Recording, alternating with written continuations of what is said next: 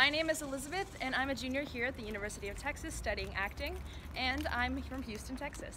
Hi, I'm Jessica Chambers, and I'm a senior in Arts and Entertainment Technologies, and I'm originally from Austin, Texas. And welcome to the College, College of, of, Fine, Fine Arts. Arts. so here in Fine Arts, our professors provide a great resource as we lead into our fields. Um, this is often because of the fact that it's kind of really integral to what we do, that our professors be active in their industries.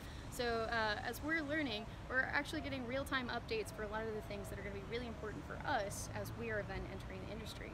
And this works really well because of our class format and the type of work that we do. So behind us we have one of two main stages here at UT. This is the Oscar G. Brockett Theater. Um, over across from us we have the Payne Theater and this is one of many performance spaces here across Austin available to the public.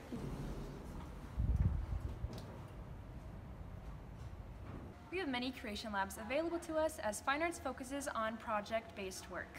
Uh, so these places are often integrated within our courses, so these are great places to be able to work on that classwork, but these are also places that you can work on personal projects. So uh, great places to explore, kind of experiment with new technology, uh, new ways of creating, uh, as well as a variety of different materials and substances. Um, the one we're currently within is the Doty Fine Arts Foundry, uh, which is just one of several areas across fine arts that we use to create all of our awesome work it's a great place to be able to explore.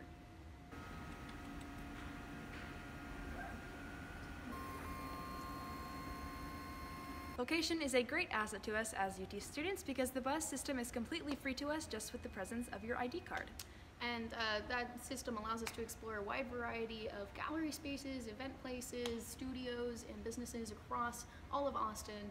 Uh, all great places to be able to uh, get a variety of internship, job opportunities, um, as well as volunteer time, um, as well as just great places to be able to explore and really kind of get to see the sights and get inspired by.